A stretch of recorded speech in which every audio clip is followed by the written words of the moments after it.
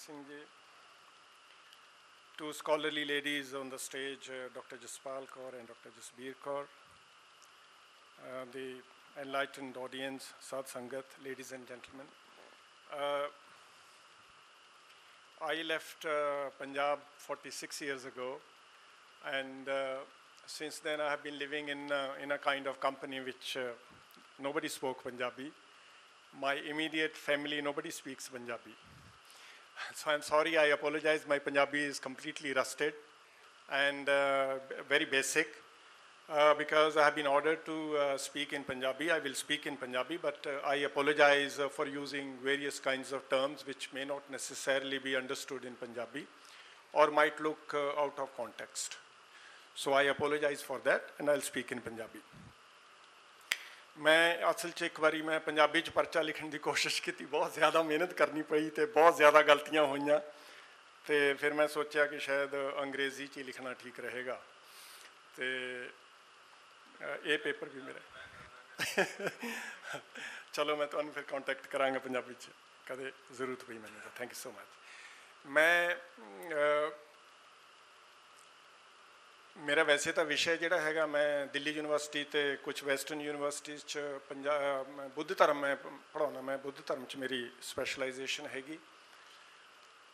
ਤੇ ਬੁੱਧ ਧਰਮ ਦੇ ਨਾਲ ਨਾਲ ਮੇਰਾ ਇੰਟਰਸਟ ਹੈਗਾ ਸੀਰੀਅਸ ਜੋ ਅਕੈਡੈਮਿਕ ਲੈਵਲ ਤੇ ਉਹ ਹੈਗਾ ਤੀਰਥ ਯਾਤਰਾ। ਤੇ ਮੈਂ ਪਰਸਨਲ ਲੈਵਲ ਤੇ ਮੈਂ ਕਾਫੀ ਇੱਕ ਤਰ੍ਹਾਂ ਦੀ ਯਾਤਰਾ ਕਰਦਾ ਹੈਗਾ। ਇੱਕ ਵਾਰੀ ਮੈਂ ਇੰਗਲੈਂਡ ਤੋਂ ਇੰਡੀਆ ਜ਼ਮੀਨ ਦੇ ਰਾਹ ਆਇਆ ਤੇ ਮੈਂ ਕੈਲਾਸ਼ ਮਾਨਸਰੋਵਰ ਵੀ ਸੱਤ ਵਾਰ ਮੈਂ ਗਿਆ। ਤੇ ਇਹ ਸਾਰਾ ਅਨੁਭਵ ਕਰਦੇ ਹੋਏ ਮੈਂ ਇੱਕ ਵਾਰੀ ਕੈਲਾਸ਼ ਮਾਨਸਰੋਵਰ ਦੀ ਪਰਿਕਰਮਾ ਕਰ ਰਿਹਾ ਸੀ। ਉੱਥੇ ਇੱਕ ਗੋਂਪੇ ਦੇ ਵਿੱਚ ਮੈਂ ਗਿਆ। ਉੱਥੇ ਇੱਕ ਤਸਵੀਰ ਲੱਗੀ ਹੋਈ ਸੀ। ਮੈਨੂੰ ਲੱਗਿਆ ਸ਼ਾਇਦ ਇਹ ਬਾਬਾ ਨਾਨਕ ਵਰਗੀ ਹੈਗੀ। ਤੇ ਮੈਂ ਉੱਥੇ ਉਸ ਚੀਫ ਇਨਕੰਬੈਂਟ ਨੂੰ ਪੁੱਛਿਆ ਕਿ ਇਹ ਫੋਟੋ ਕਿਹਦੀ ਹੈਗੀ? ਕਹਿੰਦਾ ਬਾਬਾ ਰਿੰਪੋ ਅ, ਰਿੰਪੋਚੇ ਨਾਨਕ। ਤੇ ਫੋਟੋ ਤਾਂ ਵੈਸੇ ਉੱਥੇ ਲੈਣ ਨਹੀਂ ਦਿੰਦੇ ਹੈਗੇ ਕਿਉਂਕਿ ਉਹਨਾਂ ਦਾ ਸੋਚਣਾ ਹੈਗਾ ਕਿ ਅਗਰ ਫਲੈਸ਼ ਲਾਈਟ ਕਿਸੇ ਰੂਹਾਨੀ ਤਸਵੀਰ ਤੇ ਲੱਗੇਗੀ ਤੇ ਉਹ ਮਾੜੀ ਗੱਲ ਹੈ ਫੋਟੋ ਤੇ ਨਹੀਂ ਖਿੱਚਣ ਦਿੱਤੀ ਉਹਨਾਂ ਨੇ। ਲੇਕਿਨ ਮੈਂ ਬੜਾ ਹੈਰਾਨ ਸੀ ਅ, ਤੇ ਮੈਂ ਕਨਫੈਸ ਵੀ ਕਰਨਾ ਚਾਹੁੰਦਾ ਕਿ ਸਿੱਖ ਧਰਮ ਦੀ ਹਿਸਟਰੀ ਦੇ ਬਾਰੇ ਮੇਰਾ ਨੌਲੇਜ ਬਹੁਤ ਹੀ ਜ਼ਿਆਦਾ ਪੂਅਰ ਹੈਗਾ ਕਿਉਂਕਿ ਮੈਂ ਜਦੋਂ ਛੋਟੇ ਹੁੰਦੇ ਨੇ ਆਪਣਾ ਪਿੰਡ ਛੱਡਿਆ ਉਹ ਤੋਂ ਬਾਅਦ ਮੇਰਾ ਕੋਈ ਮਤਲਬ ਆਪਣੀ ਸਿੱਖ ਬੈਕਗ੍ਰਾਉਂਡ ਤੋਂ ਇਲਾਵਾ ਬਾਕੀ ਸਿੱਖ ਧਰਮ ਨੂੰ ਪੜ੍ਹਨ ਦਾ ਮੈਨੂੰ ਕਦੇ ਜ਼ਿਆਦਾ ਮੌਕਾ ਲੱਗਿਆ ਨਹੀਂ। ਤੇ ਮੈਂ ਬੜਾ ਹੈਰਾਨ ਸੀ ਕਿ ਅੱਛਾ ਬਾਬਾ ਨਾਨਕ ਇੱਥੇ ਵੀ ਆਏ ਸੀ। ਉਹ ਕਹਿਣ ਲੱਗਾ ਕਿ ਯੈਸ ਐਂਡ 골ਡਨ ਟੈਂਪਲ ਜੋ ਹੈਗਾ ਤੁਹਾਡਾ ਉਹ ਵੀ ਸਾਡਾ ਧਰਮ ਸਥਾਨ ਹੈ। ਤੇ ਹੁਣ ਮੈਂ ਜਦੋਂ ਵੀ ਅ, ਹਰਮੰਦਰ ਸਾਹਿਬ ਜਾਣਾ ਮੈਂ ਵੇਖਦਾ ਕਿ ਉੱਥੇ ਕੁਝ ਤਿੱਬਤੀ ਵੀ ਆਉਂਦੇ ਨੇ ਪਰਿਕਰਮਾ ਕਰਦੇ ਨੇ। ਤੇ ਇਹ ਮੇਰੇ ਲਈ ਇੱਕ ਬੜੀ ਨਵੀਂ ਚੀਜ਼ ਸੀ। ਇਸੇ ਤਰ੍ਹਾਂ ਮੈਂ ਘੁੰਮਦਾ ਫਿਰਦਾ ਇੱਕ ਵਾਰੀ ਬਾਕੂ ਸ਼ਹਿਰ 'ਚ ਗਿਆ, ਜੋ ਐਜ਼ਰਬੈਜਾਨ ਦੀ ਰਾਜਧਾਨੀ ਹੈ। ਪਹਿਲਾਂ ਰਸ਼ੀਆ ਸੀਗਾ, ਹੁਣ ਇੰਡੀਪੈਂਡੈਂਟ ਕੰਟਰੀ ਹੈ। ਲੇਕ ਕੈਸਪੀਅਨ ਦੇ ਕਿਨਾਰੇ। ਤੇ ਉੱਥੇ ਮੈਂ ਘੁੰਮਦਾ ਘੁੰਮਦਾ ਇੱਕ ਮੰਦਿਰ 'ਚ ਗਿਆ। ਉਹਨਾਂ ਨੇ ਮੈਨੂੰ ਦੱਸਿਆ ਕਿ ਇਹ ਇੱਕ ਇੰਡੀਅਨ ਟੈਂਪਲ ਹੈ, ਫਾਇਰ ਟੈਂਪਲ। ਤੇ ਅੰਦਰ ਮੈਂ ਵੇਖਿਆ ਕਿ ਉੱਥੇ ਗੁਰਮੁਖੀ 'ਚ ਦੋ ਸ਼ਿਲਾਲੇਖ ਉਹਦੇ 'ਚ ਲੱਗੇ ਹੋਏ ਸੀਗੇ। ਤੇ ਵੈਸੇ ਮੈਂ ਇਹ ਤੁਹਾਨੂੰ ਦਿਖਾਉਣਾ ਚਾਹੁੰਦਾ ਸੀਗਾ ਪੀਪੀਟੀ ਮੈਂ ਬਣਾਇਆ ਸੀ ਲੇਕਿਨ ਕਿਉਂਕਿ ਪ੍ਰੋਜੈਕਟਰ ਉਪਲਬਧ ਨਹੀਂ ਹੈਗਾ ਇਸ ਕਰਕੇ ਮੈਂ ਤੁਹਾਨੂੰ ਵੈਸੇ ਦੱਸਾਂਗਾ। ਮੇਰੇ ਕੋਲ ਵੈਸੇ ਫੋਟੋਆਂ ਹੈਗੀਆਂ ਉਹਨਾਂ ਦੀਆਂ। ਤੇ ਅ, ਦੋਨੇ ਸ਼ਿਲਾਲੇਖਾਂ ਦੇ ਉੱਪਰ ਮੂਲ ਮੰਤਰ ਲਿਖਿਆ ਹੋਇਆ ਹੈ ਤੇ ਥੱਲੇ ਬੰਗੇ ਵਾਲੀ ਜੋ ਪਰੰਪਰਾ ਹੈ ਆਪਣੇ ਉਦਾਸੀ ਸਾਧਾਂ ਦੀ, ਤੇ ਉਹਨਾਂ ਦੇ ਨਾਂ ਲਿਖੇ ਹੋਏ ਸੀਗੇ ਥੱਲੇ ਉਸ 'ਚ। ਤੇ ਹੋਰ ਇੱਕ ਦੋ ਚੀਜ਼ਾਂ ਦੇ ਨਾਂ, ਸਥਾਨਾਂ ਦੇ ਨਾਂ ਵੀ ਉਹਨਾਂ ਸ਼ਿਲਾ ਲੇਖਾਂ 'ਚ ਲਿਖੇ ਹੋਏ ਸੀ। ਉਹਦੇ ਕਾਰਨ ਮੇਰੀ ਥੋੜੀ ਕਿਉਰਿਓਸਿਟੀ ਔਰ ਹੋਈ ਕਿ ਇਹ ਮਤਲਬ ਇਟਸ ਵੈਰੀ ਇੰਟਰਸਟਿੰਗ ਤੇ ਬਾਕੀ ਮੈਂ ਫਿਰ ਥੋੜਾ ਕੰਮ ਕੀਤਾ ਉਹਦੇ ਤੇ। ਸਿੱਖ ਰਿਲੀਜਨ ਚ ਜਾਂ ਸਿੱਖ ਸਕਾਲਰ ਨੇ ਕਿਸੇ ਨੇ ਕੋਈ ਸਪੈਸ਼ਲਿਸਟ ਕੰਮ ਇਹਨਾਂ ਦੋ ਸ਼ਿਲਾ ਲੇਖਾਂ ਤੇ ਨਹੀਂ ਕੀਤਾ। ਹਾਲਾਂਕਿ ਕੈਨੇਡਾ ਚ, ਮੈਂ ਵੀ ਕੈਨੇਡਾ ਚ ਰਹਿਣਾ ਜ਼ਿਆਦਾਤਰ ਤੇ ਕੈਨੇਡਾ ਚ ਥੋੜੇ ਜਿਹੇ ਪੈਸੇ ਕੁਝ ਲੋਕਾਂ ਕੋਲੇ ਜ਼ਿਆਦਾ ਆ ਗਏ, ਫਿਰ ਉਹ ਕੋਈ ਫੈਕਟਰੀ 'ਚ ਕੰਮ ਕਰ ਰਿਹਾ, ਕੋਈ ਕਿਤੇ ਹੋਰ ਕੰਮ ਕਰ ਰਿਹਾ, ਫਿਰ ਉਹ ਸਿੱਖ ਧਰਮ ਤੇ ਵੀ ਕੰਮ ਕਰਦੇ ਨੇ ਕਈਆਂ ਨੇ, ਰਸਾਲੇ ਵਗੈਰਾ ਵੀ ਕੱਢਣੇ ਸ਼ੁਰੂ ਕਰਤੇ ਤੇ ਚੈਨਲ ਵੀ ਚਲਾਏ ਹੋਏ ਨੇ, ਟੀਵੀ ਤੇ ਵਗੈਰਾ। ਇਹਨਾਂ ਵੇ ਗੁੱਡ ਕੁਝ ਤਾਂ ਥੋੜਾ ਬਹੁਤ ਕੰਟਰੀਬਿਊਸ਼ਨ ਹੈ ਉਹਨਾਂ ਦਾ। ਤੇ ਮੈਂ ਵੇਖਿਆ ਕਿ ਇੱਕ ਦੋ ਬੰਦਿਆਂ ਨੇ ਜੋ ਸਪੈਸ਼ਲਿਸਟ ਨਹੀਂ ਹੈਗੇ, ਜਿਨ੍ਹਾਂ ਦੀ ਮੈਥੋਡੋਲੋਜੀ ਵਗੈਰਾ ਦੀ ਕੋਈ ਟ੍ਰੇਨਿੰਗ ਨਹੀਂ ਹੈਗੀ ਕਿਉਂਕਿ ਕਿਸੇ ਵਿਸ਼ੇ ਨੂੰ ਪੜ੍ਹਨ ਵਾਸਤੇ ਇੱਕ ਮੈਥਡੋਲੋਜੀ ਵੀ ਹੁੰਦੀ ਹੈ, ਉਹਦੀ ਟ੍ਰੇਨਿੰਗ ਹੁੰਦੀ ਹੈ। ਤੇ ਉਹ ਕੋਈ ਉਹਨਾਂ ਦੀ ਕੋਈ ਟ੍ਰੇਨਿੰਗ ਨਹੀਂ ਸੀ ਕਿ ਸਿੱਧੇ ਸਾਦੇ ਬੰਦਿਆਂ ਦੀ, ਲੇਕਿਨ ਉਹਨਾਂ ਨੂੰ ਵੀ ਕੋਈ ਘੁੰਮਣ ਗਏ ਹੋਣੇ ਨੇ, ਉਹਨਾਂ ਤੇ ਵੀ ਇਹ ਤੇ ਥੋੜਾ ਬਹੁਤ ਕੰਮ ਕੀਤਾ ਇਹ ਸ਼ਿਲਾ ਲੇਖਾਂ ਤੇ। ਮੈਂ ਰਿਅਲਾਈਜ਼ ਕੀਤਾ ਕਿ ਕੋਈ ਸਪੈਸ਼ਲਿਸਟ ਦਾ ਕੰਮ ਨਹੀਂ ਹੈਗਾ, ਤੇ ਕੁਝ ਕੁਝ ਲਿਖਿਆ ਉਹਨਾਂ ਨੇ, ਤੇ ਉਹਦੇ 'ਚ ਹੋਣਾ ਚਾਹੁੰਦਾ ਸੀ, ਉਹਨਾਂ ਨੇ ਫਿਰ ਆਪਣੀ ਮਾਦਰੀ ਜ਼ੁਬਾਨ ਪੰਜਾਬੀ ਬੋਲਦੇ ਹੋਏ ਵੀ ਕਿਹਾ, ਹਿੰਦੀ ਹੈ।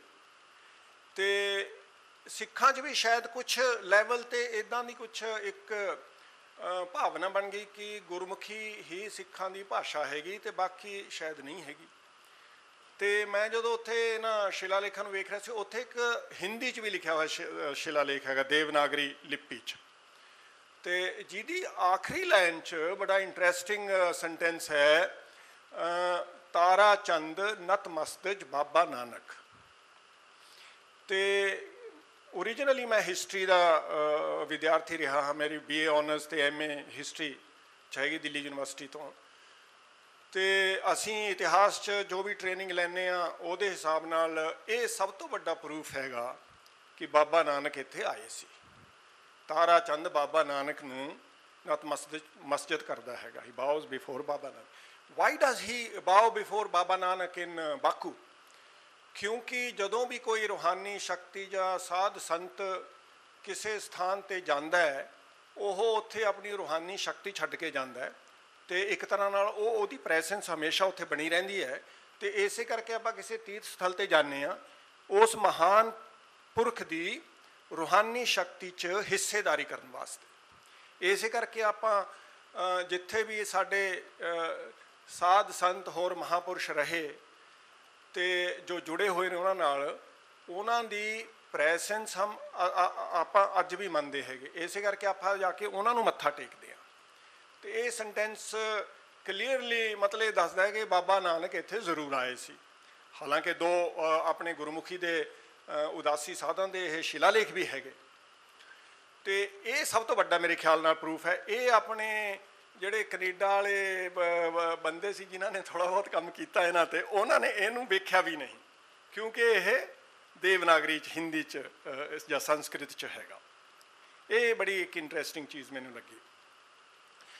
ਤੇ ਮੈਂ ਹੁਣ ਅੱਜ ਕੱਲ ਜ਼ਿਆਦਾਤਰ ਜਦੋਂ ਵੀ ਮੈਨੂੰ ਆਪਣੇ ਪਰਸਨਲ ਕੰਮ ਤੋਂ ਥੋੜੀ ਬਹੁਤ ਫੁਰਸਤ ਮਿਲਦੀ ਹੈ ਤੇ ਮੈਂ ਬਾਬਾ ਜੀ ਦੀ ਜਿਹੜੇ ਉਦਾਸੀਆਂ ਨੇ, ਮੈਂ ਉਹਨਾਂ ਨੂੰ ਰੀਟਰੇਸ ਕਰਨ ਦਾ ਮੈਂ ਮਤਲਬ ਕੰਮ ਕਰ ਰਿਹਾ ਹਾਂ ਜਿੱਦਾਂ ਇਹਨਾਂ ਦੀ ਆਖਰੀ ਚੌਥੀ ਉਦਾਸੀ ਸੀ ਕਿ ਬਾਬਾ ਜੀ ਆਪਣੇ ਪੰਜਾਬ ਤੋਂ ਸਿੰਧ ਵੱਲ ਗਏ ਤੇ ਉੱਥੋਂ ਸ਼ਾਇਦ ਕਿਸ਼ਤੀ ਦੇ ਦੁਆਰਾ ਅੱਗੇ ਇਜੀਪਟ ਤੱਕ ਸ਼ਾਇਦ ਗਏ ਤੇ ਹਾਲਾਂਕਿ ਇਹਦੇ ਬਾਰੇ ਵੀ ਜਿੱਦਾਂ ਡਾਕਟਰ ਜਸਬੀਰ ਕੌਰ ਕਹਿ ਰਹੇ ਸੀ, ਪਹਿਲਾਂ ਮੈਡਮ ਵੀ ਕਹਿ ਰਹੇ ਸੀ ਡਾਕਟਰ ਸਾਹਿਬ ਨੇ ਵੀ ਕਿਹਾ ਕਿ ਇਹਦੇ 'ਚ ਕਈ ਚੀਜ਼ਾਂ ਨੂੰ ਲੈ ਕੇ ਕਈ ਤਰ੍ਹਾਂ ਦੀਆਂ ਕੰਟਰੋਵਰਸੀਜ਼ ਹੈਗੀਆਂ, ਇੱਥੇ ਗਏ ਕਿ ਨਹੀਂ ਗਏ। ਜਿੱਦਾਂ ਇੱਕ ਮੈਕਲਿਓਡ ਕਰਕੇ ਕਾਫੀ ਵੈਲ ਨੋਨ ਸਕਾਲਰ ਹੈ, ਸਿੱਖ ਇਤਿਹਾਸ ਤੇ ਕੰਮ ਕਰਦਾ, ਉਹਨੇ ਕਿਹਾ, ਬਾਬਾ ਜੀ, ਪੰਜਾਬ ਤੋਂ ਬਾਹਰ ਕਿਤੇ ਗਏ ਹੀ ਨਹੀਂ। ਕੀ ਪ੍ਰੂਫ ਹੈ? ਸਿੱਧ ਕਰਕੇ ਦਿਖਾਓ। ਮੈਂ ਪਟਿਆਲੇ ਇੱਕ ਲੈਕਚਰ ਦਿੱਤਾ ਤੇ ਇੱਕ professor good friend of mine ਤੇ ਕਹਿਣ ਲੱਗਾ, ਯਾਰ, ਹੁਣ ਕੈਨੇਡਾ ਹੀ ਬਚਿਆ ਮੈਨੂੰ ਲੱਗਦਾ, ਇੱਥੇ ਬਾਬਾ ਨਾਨਕ ਨਹੀਂ ਗਏ। ਉਹ ਉੱਥੇ ਵੀ ਪਹੁੰਚਾ ਦੇ ਤੂੰ, ਕਿਉਂਕਿ ਮੈਂ ਕਿਹਾ ਵੀ ਬਾਬਾ ਜੀ, ਅਫਰੀਕਾ ਗਏ ਸੀ। ਤੇ ਮੈਂ ਕੁਝ ਆਰਗੂਮੈਂਟ ਦਿੱਤੀ। ਉਹਨੇ ਕਿਹਾ, ਯਾਰ, ਇਹ ਕੈਨੇਡਾ ਹੀ ਬਚਿਆ, ਤੂੰ ਕੈਨੇਡਾ ਵੀ ਪਹੁੰਚਾ ਦੇ, ਬਾਬਾ ਜੀ, ਸ਼ਾਇਦ ਉੱਥੇ ਵੀ ਗਏ ਹੋਣੇ। ਤੇ ਸਕੈਪਟਿਸਿਜ਼ਮ ਜਿਹਨੂੰ ਕਹਿੰਦੇ ਨੇ ਤੇ ਕਈ ਆਮ ਤੌਰ ਤੇ ਕਹਿੰਦੇ ਨੇ ਕਿਤੇ ਨਹੀਂ ਗਏ। ਖੈਰ, ਮੇਰਾ ਜਿਹੜੀ ਰਿਸਰਚ ਹੈ ਡਾਕੂਮੈਂਟਰੀ ਰਿਸਰਚ ਮੈਨੂੰ ਲੱਗਦਾ ਹੈ ਕਿ ਉਸ ਦੇ ਹਿਸਾਬ ਨਾਲ ਇੰਡੀਆ ਦਾ ਘੱਟੋ ਘੱਟ, ਅਗਰ ਦੁਨੀਆ ਦੇ ਨਹੀਂ ਇੰਡੀਆ ਦੇ ਘੱਟੋ ਘੱਟ ਸਭ ਤੋਂ ਮਹਾਨਤਮ ਯਾਤਰੂ ਟਰੈਵਲਰ ਬਾਬਾ ਨਾਨਕ ਹੋਏ ਨੇ। ਉਹਨਾਂ ਦੀਆਂ ਚਾਰ ਜਿਹੜੀਆਂ ਮੇਜਰ ਜਿਹੜੇ ਟਰੈਵਲੌਗ ਨੇ, ਉਹਨਾਂ ਤੋਂ ਇੱਕ ਦੇ ਬਰਾਬਰ ਵੀ ਕੋਈ ਹੋਰ ਤੁਹਾਨੂੰ ਭਾਰਤ ਦੇ ਇਤਿਹਾਸ 'ਤੇ ਘੱਟੋ ਘੱਟ ਨਹੀਂ ਮਿਲੇਗਾ। ਬਾਕੀ ਮੈਂ ਹੋਰ ਜਿਹੜੇ ਵੱਡੇ ਵੱਡੇ ਟਰੈਵਲਰਸ ਹੋਏ ਨੇ ਇਵਨ ਬਤੂਤਾ ਵਗੈਰਾ, ਉਹਨਾਂ ਦੇ ਬਾਰੇ 'ਚ ਵੀ ਮੈਂ ਕੁਝ ਥੋੜੀ ਰਿਸਰਚ ਕੀਤੀ ਹੈ। ਮੈਨੂੰ ਲੱਗਦਾ ਬਾਬਾ ਜੀ ਦੀ ਜਿਹੜੇ ਟਰੈਵਲ ਇਟਨਰੀਜ਼ ਨੇ, ਉਹਨਾਂ ਦਾ ਕੋਈ ਮੁਕਾਬਲਾ ਨਹੀਂ ਹੋ ਸਕਦਾ। ਤੇ ਮੇਰੇ ਵਾਸਤੇ ਪਰਸਨਲੀ ਇਹ ਬੜੀ ਇੱਕ ਖੁਸ਼ੀ ਦੀ ਗੱਲ ਸੀਗੀ ਕਿ ਮੇਰੇ ਆਪਣੇ ਇੱਕ ਵਿਰਾਸਤ ਦੇ ਫਾਊਂਡਰ ਨੇ ਜਿਹੜੇ, ਉਹ ਏਡੇ ਵੱਡੇ ਟਰੈਵਲਰ ਸੀਗੇ। ਤੇ ਇਹ ਜਿਹੜੀ ਇਹਨਾਂ ਦੀ ਯਾਤਰਾ ਸੀ ਆਖਰੀ, ਇਹ ਮੈਨੂੰ ਲੱਗਦਾ ਕੰਟਰੋਵਰਸੀਜ਼ ਹੈਗੀਆਂ ਬਹੁਤ। ਇਹ ਇਜਿਪਟ ਮਿਸ਼ਰ ਗਏ। ਉੱਥੋਂ ਫਿਰ ਇਹ ਸਾਊਥ ਵੱਲ ਜ਼ਮੀਨ ਦੇ ਰਾਸਤੇ ਇਥੀਓਪੀਆ ਕੀਨੀਆ ਤੇ ਯੁਗੰਡਾ ਵਗੈਰਾ ਦੇ ਇਲਾਕੇ 'ਚ ਗਏ ਹੋਣੇ। ਉੱਥੋਂ ਫਿਰ ਇਹਨਾਂ ਨੇ ਇਥੋਪੀਆ ਜਾਂ ਜ਼ਿਬੂਤੀ ਜਿਹੜਾ ਕੰਟਰੀ ਹੈਗਾ, ਉੱਥੋਂ ਇਹਨਾਂ ਨੇ ਸਮੁੰਦਰ ਪਾਰ ਕਰਕੇ ਇਹ ਫਿਰ ਮੱਕਾ, ਮਦੀਨਾ ਤੇ ਉੱਥੋਂ ਫਿਰ ਇਸਫਾਹਾਨ ਵਗੈਰਾ ਈਰਾਨ ਤੋਂ ਹੁੰਦੇ ਹੋਏ ਇਹ ਫਿਰ ਕੈਸਪੀਅਨ ਸੀ ਦੇ ਨਾਲ ਨਾਲ ਥੋੜਾ ਜਿਹਾ ਵਿੱਚ ਦੀ ਟਰੈਵਲ ਕੀਤਾ, ਇਹ ਬਾਕੂ ਸ਼ਹਿਰ ਚ ਆਏ। ਇੱਥੇ ਬਾਕੂ ਸ਼ਹਿਰ ਤੋਂ ਸਿਟੀ ਸੈਂਟਰ ਤੋਂ ਕੋਈ 15-16 ਕਿਲੋਮੀਟਰ ਦੀ ਦੂਰੀ ਤੇ ਇਹ ਜਗ੍ਹਾ ਹੈਗੀ ਜਿੱਥੇ ਇਹ ਜਵਾਲਾ ਜੀ ਦਾ ਮੰਦਿਰ ਬਣਿਆ ਹੋਇਆ ਹੈਗਾ। ਸੁਰਾਖਾਨੀ ਨਾਂ ਜਗ੍ਹਾ ਸੁਰਖ ਖਾਨੀ ਤੇ ਇੱਥੇ ਇਹ ਜਿਹੜੇ ਸ਼ਿਲਾਲੇਖ ਲੱਗੇ ਹੋਏ ਨੇ ਤੇ ਇੱਥੇ ਅੰਦਰ ਤੁਹਾਨੂੰ 24 ਕਮਰੇ ਹੈਗੇ, ਇਹ ਕੋਠੀਆਂ ਕੋਠਰੀਆਂ ਬਣੀਆਂ ਹੋਈਆਂ। ਤੇ ਇਹਨਾਂ ਦੇ ਅੰਦਰ ਤੁਹਾਨੂੰ ਮਤਲਬ ਜ਼ਿਆਦਾਤਰ ਕੋਠਰੀਆਂ ਦੇ ਅੰਦਰ ਉਦਾਸੀ ਸਾਧੂਆਂ ਦੇ ਤੁਹਾਨੂੰ ਮੰਮੀਜ਼ ਮਿਲ ਜਾਣਗੇ। ਤੇ ਉਹ ਜਿੱਦਾਂ ਦੇ ਉਦਾਸੀ ਸਾਧੂ ਬਾਬਾ ਸ਼੍ਰੀ ਚੰਦ ਦੇ ਫਾਲੋਅਰਸ ਤਰ੍ਹਾਂ ਤਰ੍ਹਾਂ ਦੇ ਤੁਤਗੁਣ ਜਿਹੜੇ ਕਰਦੇ ਸੀਗੇ ਸਵੀਅਰ ਅਸੈਟਿਕਲ ਪ੍ਰੈਕਟਿਸਿਸ ਜਿੱਦਾਂ ਇੱਕ ਬਾਬਾ ਜੀ ਦੀ ਉੱਥੇ ਮੰਮੀ ਬਣੀ ਹੋਈ ਆ ਉਹਨਾਂ ਨੇ 7 ਸਾਲ ਆਪਣਾ ਇੱਕ ਹੱਥ ਹਵਾ 'ਚ ਖੜਾ ਕਰਕੇ ਰੱਖਿਆ। ਉਰਦ ਬਾਹੂ ਜੀ ਨੂੰ ਕਹਿੰਦੇ ਨੇ ਸੰਸਕ੍ਰਿਤ 'ਚ। ਤੇ ਗਲੇ 'ਚ ਸੰਗਲ ਪਾਉਣੇ, ਬੇੜੀਆਂ ਪਾ ਕੇ ਰੱਖਣੀਆਂ, ਵਗੈਰਾ ਵਗੈਰਾ ਸਾਰਾ, ਉਹ ਸਾਰਾ ਉੱਥੇ ਹੈ। ਨਾਓ ਜੋ ਗੱਲ ਮੈਂ ਤੁਹਾਡੇ ਨਾਲ ਸ਼ੇਅਰ ਕਰਨਾ ਚਾਹੁੰਦਾ ਸੀ, ਉਹ ਸੀਗਾ ਕਿ ਫਕੀਰੀ ਜਾਂ ਜਿਹਨੂੰ ਅੰਗਰੇਜ਼ੀ 'ਚ ਅਸੈਟਿਸਿਜ਼ਮ ਕਹਿੰਦੇ ਨੇ, ਇਹ ਪਰੰਪਰਾ ਦਾ ਬੜਾ ਲੰਬਾ ਚੌੜਾ ਇਤਿਹਾਸ ਹੈਗਾ। ਵੈਦਿਕ ਕਾਲ ਦਾ ਇਤਿਹਾਸ ਹੈਗਾ, ਉਦੋਂ ਤੋਂ ਅੱਗੇ ਤੱਕ। ਵਿਸ਼ ਭਾਰਤੀਆਂ ਦੀ ਇਹ ਬਹੁਤ ਵੱਡੀ ਇਹ ਵਿਸ਼ੇਸ਼ਤਾ ਰਹੀ ਹੈ ਸੰਨਿਆਸ ਵਾਲੀ ਕਿ ਸਾਰਾ ਕੁਝ ਤਿਆਗ ਕੇ। ਜਿਹਦੇ ਤਿੰਨ ਮੁੱਖ ਤੌਰ 'ਤੇ ਚੀਜ਼ਾਂ ਜਿਹੜੀਆਂ ਤਿਆਗੀਆਂ ਜਾਂਦੀਆਂ ਸੀ ਘਰ। ਤੁਸੀਂ ਅ ਘਰੇ ਰਹੋਗੇ ਸਾਰੀ ਉਮਰ। No property. ਕਿਸੇ ਪ੍ਰਕਾਰ ਦੀ ਵੀ ਕੋਈ ਪੋਜੈਸ਼ਨ ਮਟੀਰੀਅਲ ਪੋਜੈਸ਼ਨ ਤੁਹਾਡੇ ਕੋਲ ਨਹੀਂ ਰਹੇਗਾ, ਪਤਨੀ ਨਹੀਂ ਹੋਏਗੀ। ਅਗਰ ਤੁਸੀਂ ਆਦਮੀ ਹੋ, ਅਗਰ ਔਰਤ ਹੋ, ਤਾਂ ਪਤੀ ਨਹੀਂ ਹੋਏਗਾ।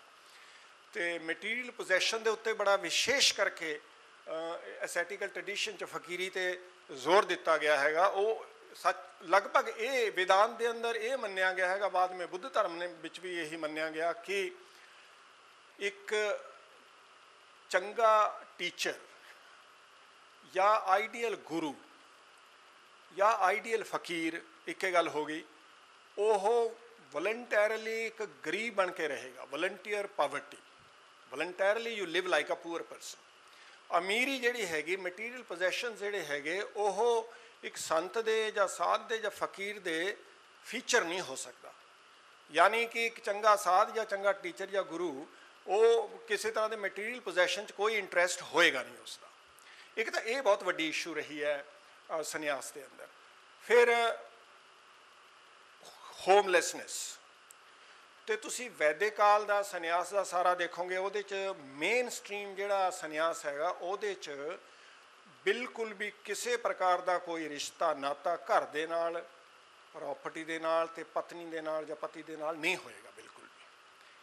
ਤੇ ਫਿਰ 6ਵੀਂ ਸ਼ਤਾਬਦੀ ਈਸਵੀ ਪੂਰਵ ਦੇ ਨੇੜੇ ਤੇੜੇ ਆ ਕੇ ਜੈਨ ਔਰ ਬੁੱਧ ਧਰਮ ਦੇ ਜਿਹੜੇ ਫਾਊਂਡਰ ਸੀਗੇ, ਇਹਨਾਂ ਨੇ ਇਹਦੇ 'ਚ ਥੋੜੀ ਜੀ ਤਬਦੀਲੀ ਕੀਤੀ ਕਿ ਇੱਕ ਸਾਧ ਜਾਂ ਸੰਤ ਜੋ ਹੈ, ਉਹਨੂੰ ਸ਼ਾਇਦ ਆਪਣੀ ਸਪਿਰਚੁਅਲ ਰੂਹਾਨੀ ਪ੍ਰੋਗਰੈਸ ਵਾਸਤੇ ਸ਼ਾਇਦ ਕੁਝ ਹੋਰ ਸਮਾਂ ਟਾਈਮ ਅਗਰ ਉਹ ਸਪੇਅਰ ਕਰ ਸਕਦਾ ਹੈ, ਤਾਂ ਸ਼ਾਇਦ ਫਾਇਦੇ ਵਾਲੀ ਗੱਲ ਹੋਏਗੀ। ਇਸੇ ਕਰਕੇ ਉਹਨਾਂ ਨੂੰ ਸ਼ਹਿਰਾਂ ਤੇ ਪਿੰਡਾਂ ਦੇ ਨੇੜੇ ਤੇੜੇ ਆਪਣੇ ਡੇਰੇ ਬਣਾਉਣੇ ਚਾਹੀਦੇ ਨੇ।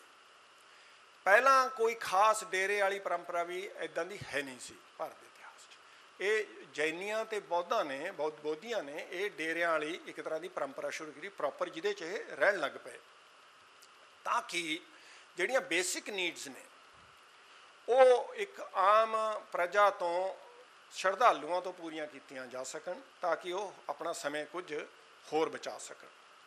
ਤੇ ਫਿਰ ਆਉਂਦਾ ਆਪਣੇ ਬਾਬਾ ਨਾਨਕ ਦਾ ਟਾਈਮ ਬਾਬਾ ਜੀ ਨੇ ਬੜਾ ਇੱਕ ਕ੍ਰਾਂਤੀਕਾਰੀ ਤਬਦੀਲੀ ਸੰਨਿਆਸ ਜਾਂ ਫਕੀਰੀ ਦੇ ਵਿੱਚ ਲੈ ਕੇ ਆਏ ਇਹਨਾਂ ਨੇ ਸੰਨਿਆਸੀ ਦਾ ਜੋ ਚੋਗਾ ਸੀਗਾ ਰੋਬ ਸੀਗਾ, ਉਹ ਤਾਂ ਜਦੋਂ ਤਿਆਗਿਆ ਤਿਆਗਿਆ। ਉਹਦੇ ਬਾਰੇ ਚ ਵੀ ਕਈ ਤਰ੍ਹਾਂ ਦੇ ਵਿਚਾਰ ਹੈਗੇ। ਸ਼ਾਇਦ ਉਸ ਤੋਂ ਪਹਿਲਾਂ ਵੀ ਵੇਖਣ ਚ ਲੱਗਦਾ ਹੈਗਾ ਕਿ ਬਾਬਾ ਜੀ ਨੇ ਸ਼ੁਰੂ ਤੋਂ ਹੀ ਇਹਦੇ ਵਿੱਚ ਵੀ ਇੱਕ ਬਹੁਤ ਵੱਡੀ ਤਬਦੀਲੀ ਕੀਤੀ ਹੋਈ ਆ। ਉਹਨਾਂ ਨੇ ਘਰ ਵੈਸੇ ਇੱਕ ਤਰ੍ਹਾਂ ਨਾਲ ਕਦੇ ਛੱਡਿਆ ਨਹੀਂ।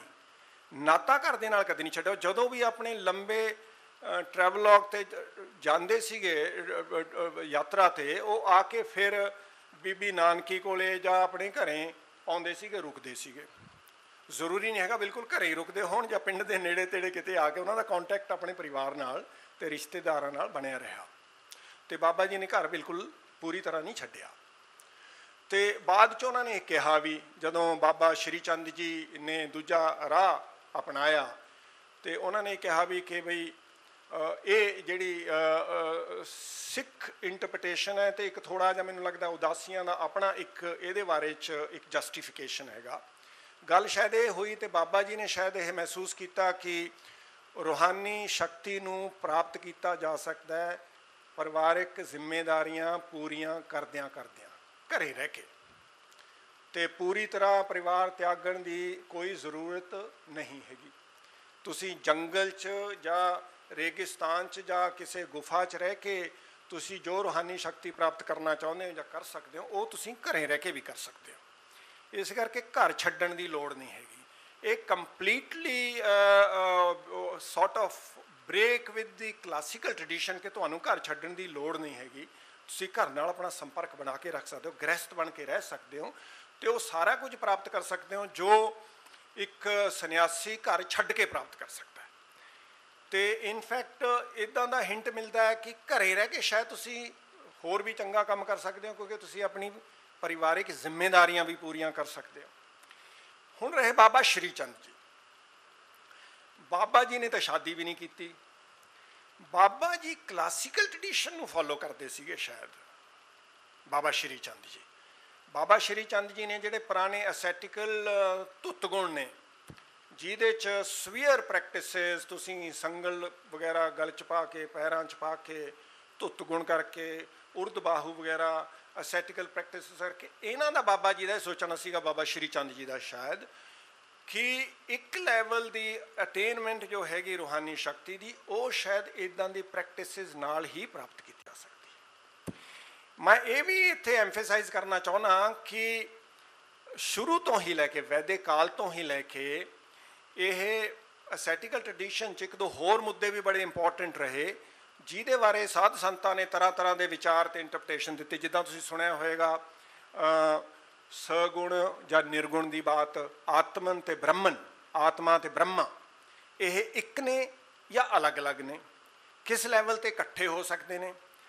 ਤੇ ਆਖਰੀ ਜਿਹੜੀ ਐਨਲਾਈਟਨਮੈਂਟ ਹੈ ਜਾਂ ਨਿਰਵਾਣ ਹੈ ਜਾਂ ਮੋਕਸ਼ ਹੈ ਜਾਂ ਗਤੀ ਹੈ ਜਾਂ ਜੋ ਵੀ ਤੁਸੀਂ ਉਸ ਨੂੰ ਕੁਝ ਕਹਿਣਾ ਚਾਹੁੰਦੇ ਹੋ, ਉਹ ਕੀ ਹੈਗੀ? ਉਹ ਆਤਮਨ ਤੇ ਬ੍ਰਹਮਣ ਦਾ ਮਿਲਾਪ ਹੈਗਾ ਜਾਂ ਨਹੀਂ ਹੈਗਾ? ਜਿੱਦਾਂ ਬੋਧੀਆਂ ਨੇ ਕਿਹਾ ਕਿ ਆਤਮਾ ਦੀ ਨਾਂ ਦੀ ਤੇ ਬ੍ਰਹਮਣ ਨਾਂ ਦੀ ਕੋਈ ਚੀਜ਼ ਹੀ ਨਹੀਂ ਹੈਗੀ, ਅਸੀਂ ਮੰਨਦੇ ਹੀ ਨਹੀਂ ਹੈਗੇ। ਇਹ ਗੱਲ ਹੀ ਕੋਈ ਹੋਰ ਹੈਗੀ।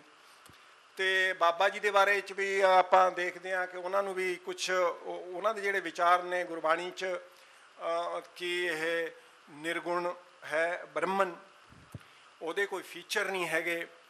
ਤੇ ਬਾਬਾ ਸ਼੍ਰੀ ਚੰਦ ਜੀ ਦਾ ਵੀ ਇਸ ਲੈਵਲ ਤੇ ਆਪਣਾ ਸ਼ਾਇਦ ਇੰਟਰਪ੍ਰੀਟੇਸ਼ਨ ਸੀਗਾ। ਤੇ ਉਹਨਾਂ ਨੇ ਸ਼ਾਇਦ ਇਹ ਸੋਚਿਆ ਕਿ ਸ਼ਾਇਦ ਜਿਹੜੀ ਕਲਾਸੀਕਲ ਟ੍ਰੈਡੀਸ਼ਨ ਹੈਗੀ ਕੰਪਲੀਟ ਤਿਆਗ, ਘਰ ਦਾ, ਪਤਨੀ ਦਾ ਤੇ ਪ੍ਰਾਪਰਟੀ ਦਾ, ਉਹ ਸ਼ਾਇਦ ਜ਼ਿਆਦਾ ਯੂਸਫੁਲ ਰਸਤਾ ਹੋਏਗਾ। ਤੇ ਇੱਥੇ ਹੁਣ ਦੋ ਤਰ੍ਹਾਂ ਦੇ ਵਿਚਾਰ ਨੇ। ਆਪਣੇ ਸਿੱਖ ਧਰਮ 'ਚ ਸਿੰਘ ਸਭਾ ਜਦੋਂ ਬਣੀ, ਸਭ ਤੋਂ ਵੱਡੀ ਜਿਹੜੀ ਇਸ਼ੂ ਆਈ, ਉਹ ਆਈ ਪਹਿਚਾਣ ਦੀ। ਜਿਹਦਾ ਮੇਰੇ ਵਰਗੇ ਬੰਦੇ ਨੂੰ ਸ਼ਾਇਦ ਅਕਾਲੀ ਦਲ ਦੇ ਜਾਂ ਗੁਰਦੁਆਰਾ ਪ੍ਰਬੰਧਕ ਕਮੇਟੀ ਦੇ ਵੋਟਰ ਬਣਨ ਵਾਸਤੇ ਸ਼ਾਇਦ ਕਈ ਤਰ੍ਹਾਂ ਦੀ ਕਠਿਨਾਈ ਆ ਸਕਦੀ ਹੈ। ਤੇ ਇਹਦਾ ਜਸਟੀਫਿਕੇਸ਼ਨ ਵੀ ਸਿੱਖਾਂ ਕੋਲੇ ਹੈਗਾ ਕਿ ਆਫਟਰ ਆਲ ਪਹਿਚਾਨ ਤੋਂ ਬਿਨਾ ਫਿਰ ਬੰਦਾ ਕੁਝ ਹੈ ਨਹੀਂ। ਪਹਿਚਾਨ ਤਾਂ ਹੋਣੀ ਚਾਹੀਦੀ ਹੈ।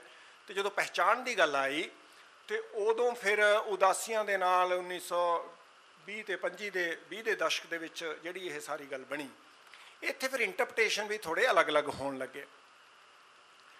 ਤੇ ਉਦਾਸੀਆਂ ਦੇ ਤੁਸੀਂ ਕੰਟਰੀਬਿਊਸ਼ਨ ਵੱਲ ਦੇਖੋਗੇ ਤੇ ਮਾਰਵਲਸ ਹੈਗਾ। ਇਹਦੇ 'ਚ ਮੈਨੂੰ ਲੱਗਦਾ ਹੈ ਮੇਰੀ ਜਿਹੜੀ ਆਪਣੀ ਸਟੱਡੀ ਹੈ, ਜਿੰਨਾ ਕੰਟਰੀਬਿਊਸ਼ਨ ਉਦਾਸੀਆਂ ਨੇ ਸਿੱਖ ਧਰਮ 'ਚ ਕੀਤਾ, ਮੈਨੂੰ ਲੱਗਦਾ ਹੈ ਉਹਦਾ ਕੋਈ ਮਤਲਬ ਮੁਕਾਬਲਾ ਨਹੀਂ ਹੈਗਾ। ਬਹੁਤ ਹੀ ਵੰਡਰਫੁਲ ਤੇ ਇਹਦੇ ਨਾਲ ਨਾਲ ਇਹ ਵੀ ਇੱਕ ਵੇਖਣ ਵਾਲੀ ਗੱਲ ਹੈ ਕਿ ਜਦੋਂ ਬਾਬਾ ਨਾਨਕ ਤੇ ਉਹਨਾਂ ਦੇ ਵੱਡੇ ਲੜਕੇ ਸ਼੍ਰੀ ਚੰਦ ਜੀ ਨੇ ਸ਼ਾਇਦ ਦੋ ਰਾਹ ਅੱਡ ਅੱਡ ਅਖਤਿਆਰ ਕੀਤੇ ਤਾਂ ਉਸ ਲੈਵਲ ਤੇ ਸ਼ਾਇਦ ਕੋਈ ਮਤਭੇਦ ਜ਼ਿਆਦਾ ਨਜ਼ਰ ਆਉਂਦਾ ਨਹੀਂ ਹੈਗਾ। ਕਿਉਂ? ਕਿਉਂਕਿ ਬਾਬਾ ਜੀ ਖੁਦ ਇੱਕ ਮਤਲਬ ਲੈਵਲ ਤੇ ਪਹੁੰਚੇ ਹੋਏ ਸੀਗੇ, ਜਿਸ ਲੈਵਲ ਤੇ ਕਿਸੇ ਤਰ੍ਹਾਂ ਦਾ ਕਲੇਸ਼ ਜਾਂ ਵੈਰ, ਵਿਰੋਧ ਮੇਰੇ ਖਿਆਲ ਇੱਥੇ ਕੋਈ ਕੰਮ ਦੀ ਗੱਲ ਹੈ ਨਹੀਂ ਸੀ। ਤੇ ਇਹ ਵੀ ਗੱਲ ਬੜੀ ਇੰਪੋਰਟੈਂਟ ਕਿ ਬਾਬਾ ਨਾਨਕ ਦੀ ਰੂਹਾਨੀ ਸ਼ਕਤੀ ਵੇਨ ਨਦੀ ਚੋਂ ਡੁਬਕੀ ਲਾਉਣ ਤੋਂ ਪਹਿਲਾਂ ਤੇ ਬਾਅਦ ਚ ਕਿੰਨੀ ਬਦਲੀ? ਮੇਰਾ ਇਹ ਸੋਚਣਾ ਹੈਗਾ ਕਿ ਬਾਬਾ ਜੀ ਜਨਮ ਤੋਂ ਹੀ ਮਹਾਪੁਰਸ਼ ਸੀਗੇ ਤੇ ਉਹਨਾਂ ਦੇ ਚਮਤਕਾਰ ਵੀ ਤੁਸੀਂ ਵੇਖਦੇ ਹੋ ਵੇਨ ਨਦੀ ਤੇ ਡੁਬਕੀ ਲਾਉਣ ਤੋਂ ਪਹਿਲਾਂ ਵੀ। ਉਹ ਤਾਂ ਪਹਿਲਾਂ ਵੀ ਮਹਾਪੁਰਸ਼ ਸੀਗੇ। ਸ਼ਾਇਦ ਮਹਾਪੁਰਸ਼ਾਂ ਦਾ ਵੀ ਇੱਕ ਲੈਵਲ ਹੈਗਾ ਤੇ ਹਾਈਐਸਟ ਲੈਵਲ ਸ਼ਾਇਦ ਬਾਬਾ ਜੀ ਨੇ ਵੇਨ ਨਦੀ 'ਚ ਡੁਬਕੀ ਲਾਉਣ ਕੇ ਪ੍ਰਾਪਤ ਕੀਤਾ ਜਾਂ ਉਸ ਟਾਈਮ ਤੇ ਉਹ ਇੱਕ ਡਿਵਾਈਡਿੰਗ ਲਾਈਨ ਤੁਸੀਂ ਕਹਿੰਦੇ ਲੇਕਿਨ ਬਾਬਾ ਜੀ ਪਹਿਲਾਂ ਵੀ ਮਹਾਪੁਰਸ਼ ਸੀਗੇ ਬਾਈ ਬਰਥ ਤੇ देयरफॉर ਇੱਕ ਮਹਾਪੁਰਸ਼ ਜੋ ਹੈਗਾ ਉਹ ਕਿਸ ਲੈਵਲ ਤੱਕ ਵੈਰ ਵਿਰੋਧੀ ਭਾਵਨਾ ਰੱਖ ਸਕਦਾ ਤੇ ਮੇਰਾ ਇਹ ਸੋਚਣਾ ਹੈਗਾ ਕਿ ਬਾਬਾ ਸ਼੍ਰੀ ਚੰਦ ਜੀ ਦੇ ਨਾਲ ਕੋਈ ਉਹਨਾਂ ਦਾ ਵਿਸ਼ੇਸ਼ ਸ਼ਾਇਦ ਮਤਭਾਈ ਭੇਦ ਨਹੀਂ ਸੀ ਤੇ ਉਦਾਸੀ ਇਹੀ ਕਹਿੰਦੇ ਨੇ ਕਿ ਬਾਬਾ ਜੀ ਨੇ ਹੁਣ ਆਪਣੀ ਜਿਹੜੀ ਇੱਕ ਬਲੇਸਿੰਗ ਹੈਗੀ, ਉਹ ਦੋਏ ਪਰੰਪਰਾਵਾਂ ਨੂੰ ਦਿੱਤੀ। ਉਹ ਪਰਸਨਲੀ ਬਿਲੀਵ ਕਰਦੇ ਸੀ ਕਿ ਘਰੇ ਰਹਿ ਕੇ ਇਹ ਸਾਰਾ ਕੁਝ ਕੀਤਾ ਜਾ ਸਕਦਾ ਹੈ। ਤੇ ਲੇਕਿਨ ਸ਼੍ਰੀ ਚੰਦ ਜੀ ਨੇ ਕਿਹਾ ਕਿ ਨਹੀਂ, ਇਹ ਸ਼ਾਇਦ speedy faster way to salvation ਹੈਗਾ। ਤੇ ਇਹ ਕਿਹਾ ਜਾਂਦਾ ਹੈ ਕਿ ਉਹਨਾਂ ਨੂੰ, ਉਹਨਾਂ ਨੇ ਆਪਣੀ ਬਲੇਸਿੰਗ ਵੀ ਦਿੱਤੀ। ਹੁਣ ਜਦੋਂ ਆਪਾਂ ਅਗਲੇ 5 ਜਾਂ 6 ਗੁਰੂਆਂ ਦੇ ਨਾਲ ਇਹਨਾਂ ਦਾ ਸੰਬੰਧ ਵੇਖਦੇ ਆ ਉਹ ਤੋਂ ਵੀ ਇਹ ਨਜ਼ਰ ਆਉਂਦਾ ਹੈ ਕਿ ਉਦਾਸੀਆਂ ਦੇ ਨਾਲ ਕੋਈ ਵੈਰ ਵਿਰੋਧ ਸ਼ਾਇਦ ਹੈ ਨਹੀਂ ਸੀ। ਬਾਬਾ ਅੰਗਦ ਦੇ ਗੱਦੀ ਮਿਲਣ ਤੋਂ ਬਾਅਦ ਖੁਸ਼ਵੰਤ ਸਿੰਘ ਵਗੈਰਾ ਵਿਦਵਾਨਾਂ ਦਾ ਕਹਿਣਾ ਹੈਗਾ ਕਿ ਸ਼ਾਇਦ ਥੋੜਾ ਬਹੁਤ ਨਾਰਾਜ਼ਗੀ ਹੋਈ ਹੋਏਗੀ ਬਾਬਾ ਸ਼੍ਰੀ ਚੰਦ ਜੀ ਦੇ ਗਰੁੱਪ ਨੂੰ, ਲੇਕਿਨ ਇਹਦਾ ਕੋਈ ਜ਼ਿਆਦਾ ਪ੍ਰੂਫ ਮਿਲਦਾ ਨਹੀਂ ਹੈ। ਤੇ ਦੂਜੇ ਗੁਰੂ ਨੇ ਤੇ ਤੀਜੇ ਗੁਰੂ ਨੇ ਬਾਬਾ ਅਮਰਦਾਸ ਤੇ ਬਾਬਾ ਰਾਮਦਾਸ ਜੀ ਨੇ ਵੀ ਇੱਕ ਦੋਸਤਾਨਾ ਜਿਹੜਾ ਸੰਬੰਧ ਸੀਗਾ ਬਣਾ ਕੇ ਰੱਖਿਆ ਤੇ ਫਿਰ ਅਲਟੀਮੇਟਲੀ ਗੁਰੂ ਹਰਗੋਬਿੰਦ ਸਿੰਘ ਜੀ ਦੇ ਟਾਈਮ ਤੇ ਜਦੋਂ ਉਹਨਾਂ ਨੇ ਆਪਣੇ ਲੜਕੇ ਨੂੰ ਹੀ ਸੌਂਪ ਦਿੱਤਾ ਉਦਾਸੀਆਂ ਨੂੰ, ਤੇ ਉਦੋਂ ਇਹਨਾਂ ਦਾ ਮਤਲਬ ਬਿਲਕੁਲ ਹੀ ਜਿਹੜਾ ਕੋਈ ਵੀ ਡਿਫਰੈਂਸ ਜਾਂ ਮਤਭੇਦ ਸੀਗਾ, ਉਹ ਲੱਗਦਾ ਹੈ ਕਿ ਬਿਲਕੁਲ ਹੀ ਖਤਮ ਹੋ ਗਿਆ। ਤੇ ਫਿਰ ਗੁਰੂ ਹਰਗੋਬਿੰਦ ਸਿੰਘ ਜੀ ਨੇ ਇਹਨਾਂ ਨੂੰ ਹੁਕਮ ਦਿੱਤਾ ਕਿ ਤੁਸੀਂ ਸਿੱਖ ਧਰਮ ਦਾ ਪ੍ਰਚਾਰ ਕਰੋ। ਮੇਰੀ ਜੋ ਵੀ ਛੋਟੀ-ਮੋਟੀ ਜਾਣਕਾਰੀ ਹੈਗੀ, ਉਹਦੇ ਹਿਸਾਬ ਨਾਲ ਮੈਨੂੰ ਲੱਗਦਾ ਹੈ ਕਿ ਸਿੱਖ ਧਰਮ ਦਾ ਵੱਡੇ ਪੈਮਾਨੇ ਤੇ ਪ੍ਰਚਾਰ ਜਿਹੜਾ ਹੈਗਾ ਸੈਂਟਰਲ ਏਸ਼ੀਆ 'ਚ, ਭਾਰਤ ਦੇ ਅਲੱਗ-ਅਲੱਗ ਹਿੱਸਿਆਂ 'ਚ, ਉਹ ਉਦਾਸੀਆਂ ਨੇ ਵਿਸ਼ੇਸ਼ ਕਰਕੇ ਕੀਤਾ। ਕਿਉਂਕਿ ਸਿੱਖਾਂ ਨੂੰ ਸ਼ੁਰੂ ਤੋਂ ਹੀ ਮੁਗਲ ਸਲਤਨਤ ਨਾਲ ਬਹੁਤ ਜ਼ਿਆਦਾ ਜਦੋਂ ਜਹਿਦ ਕਰਨੀ ਪਈ, ਬੜੇ ਅਤਿਆਚਾਰ ਇਹਨਾਂ ਤੇ ਹੋਏ ਤੇ ਗੁਰਦੁਆਰਿਆਂ ਨੂੰ ਇਹ ਸਾਰੇ ਕਠਿਨਾਈ ਦੇ ਦਿਨਾਂ 'ਚ ਸ਼ਾਇਦ ਉਦਾਸੀਆਂ ਨੇ ਮੇਰੇ ਖਿਆਲ ਕਾਫੀ ਵੱਡਾ ਕੰਟਰੀਬਿਊਸ਼ਨ ਦਿੱਤਾ ਇਹਨਾਂ ਨੇ ਤੇ ਇਹਨਾਂ ਨੇ ਸੰਭਾਲ ਕੇ ਰੱਖਿਆ। ਲੇਕਿਨ ਸਿੱਖ ਸਕਾਲਰਸ ਜਿਹੜੇ ਹੈਗੇ ਜੋ ਆਇਡੈਂਟੀਟੀ ਦੀ ਗੱਲ ਕਰਦੇ ਨੇ, ਉਹਨਾਂ ਦਾ ਇਹ ਕਹਿਣਾ ਹੈਗਾ ਕਿ ਉਦਾਸੀ ਗੁਰੂ ਗ੍ਰੰਥ ਸਾਹਿਬ ਨੂੰ ਆਪਣਾ ਧਰਮ ਗ੍ਰੰਥ ਮੰਨਦੇ ਨੇ, ਠੀਕ ਹੈ। ਲੇਕਿਨ ਨਾਲ ਨਾਲ ਉਹ ਵੇਦਾਂ ਨੂੰ, ਉਪਨਿਸ਼ਦਾਂ ਨੂੰ, ਰਮਾਇਣ ਤੇ ਮਹਾਭਾਰਤ ਨੂੰ ਵੀ ਆਪਣੇ, ਗੀਤਾ ਨੂੰ ਵੀ ਆਪਣੇ ਧਰਮ ਗ੍ਰੰਥ ਮੰਨਦੇ ਨੇ। ਤੇ ਇਹ ਕਨਫਿਊਜ਼ਨ ਥੋੜਾ ਪੈਦਾ ਕਰਦਾ ਹੈ। ਤੇ ਗਰੇਵਾਲ ਸਾਹਿਬ ਨੇ ਜਿੱਦਾਂ ਕਿਹਾ ਕਿ ਉਦਾਸੀਆਂ ਨੇ ਗ੍ਰੰਥ ਸਾਹਿਬ ਦਾ ਵੀ ਵਿਦਾਂਤਿਕ ਤਰੀਕੇ ਨਾਲ ਇੰਟਰਪ੍ਰੀਟੇਸ਼ਨ ਕੀਤਾ ਹੋਇਆ ਜਾਂ ਕਰਦੇ ਨੇ। ਜਿੱਦਾਂ ਤੁਸੀਂ ਮੇਰੇ ਭਾਸ਼ਾ ਨੂੰ ਸੁਣਿਆ ਹੋਵੇਗਾ ਮੈਂ ਆਤਮਨ, ਬ੍ਰਹਮਨ ਤੇ ਵਗੈਰਾ ਵਗੈਰਾ ਦੀ ਗੱਲ ਕੀਤੀ, ਉਹ ਪਿਓਰਲੀ ਉਪਨਿਸ਼ਦਿਕ ਜੋ ਵਿਦਾਂਤਿਕ ਥਾਟ ਹੈ, ਉਹ ਹੈਗਾ। ਤੇ ਉਦਾਂ ਦੀ ਸ਼ਬਦਾਵਲੀ ਦਾ ਪ੍ਰਯੋਗ ਜਿਹੜਾ ਹੈਗਾ, ਉਹਨੂੰ ਲੈ ਕੇ ਵੀ ਸਿੱਖ ਆਇਡੈਂਟੀਟੀ 'ਚ ਥੋੜਾ ਬਹੁਤ ਕੁਝ ਇਦਾਂ ਦਾ ਇੱਕ ਓਪੀਨੀਅਨ ਬਣਿਆ ਕਿ ਇਹ ਵਿਦਾਂਤਿਕ ਇੰਟਰਪ੍ਰੀਟੇਸ਼ਨ ਹੈਗਾ ਸਿੱਖ ਧਰਮ ਦਾ। ਮੈਂ ਖੁਦ ਵੀ ਪ੍ਰਾਈਵੇਟਲੀ ਚੁੱਪਚਾਪ ਬਿਨਾ ਉਰਾਂ ਪਰਾਂ ਦਾ ਦੱਸੇ, ਮੈਂ ਵੀ ਕੁਝ ਡੇਰਿਆਂ 'ਚ ਜਾ ਕੇ ਵੇਖਦਾ, ਉੱਥੇ ਵੀ ਇਹ ਕਈ ਵਾਰ ਦੇਖਣ ਨੂੰ ਮਿਲਦਾ ਹੈਗਾ ਕਿ ਜਿੱਥੇ ਗੁਰੂ ਗ੍ਰੰਥ ਸਾਹਿਬ ਰੱਖਿਆ ਹੋਇਆ ਉਹਨਾਂ ਨੇ ਤੇ ਨਾਲ ਨਾਲ ਇੱਕ ਦੇ ਨੇੜੇ ਦੇ ਕਮਰੇ 'ਚ ਹੋਰ ਉਪਨਿਸ਼ਦ ਜਾਂ ਵੇਦਾਂਤ ਵਗੈਰਾ ਰੱਖੇ ਹੋਏ ਨੇ। ਤੁਸੀਂ ਉਹਨਾਂ ਨਾਲ ਗੱਲ ਕਰੋ ਫਿਲਾਸਫੀ ਦੀ, ਦਰਸ਼ਨ ਦੀ, ਸਿੱਖ ਦਰਸ਼ਨ ਦੀ। ਆਤਮਾ ਕੀ ਹੈਗੀ, ਆਤਮਨ, ਬ੍ਰਹਮਨ ਕੀ ਹੈਗਾ ਤੇ ਮੋਕਸ਼ ਜਾਂ ਮੁਕਤੀ ਸੈਲਵੇਸ਼ਨ ਸਿੱਖ ਧਰਮ ਚ ਕੀ ਹੈਗਾ।